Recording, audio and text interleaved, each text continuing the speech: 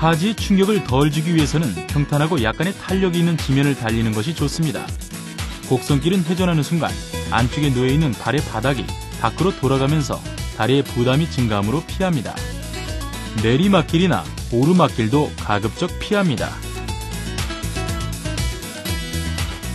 자전거 도로나 공원의 산책로, 학교 운동장을 이용하는 것이 좋은데 운동장을 돌 경우에는 반드시 달리는 방향을 번갈아 가며 달리도록 합니다.